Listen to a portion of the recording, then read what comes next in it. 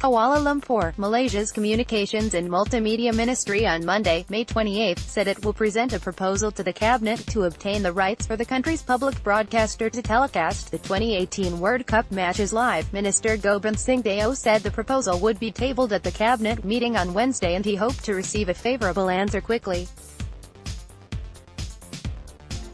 As far as I'm concerned, this is one of the ways in which we can promote RTM, Radio Television Malaysia, again. I think we need to do this, we need to increase viewership on the part of RTM, he said, this is an international event.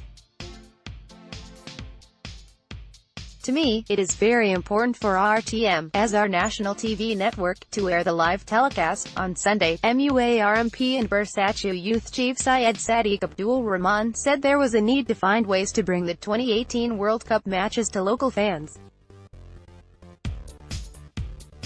The quadrennial event will be held in Russia, with 32 countries from five football confederations competing in 12 venues to win the prestigious trophy.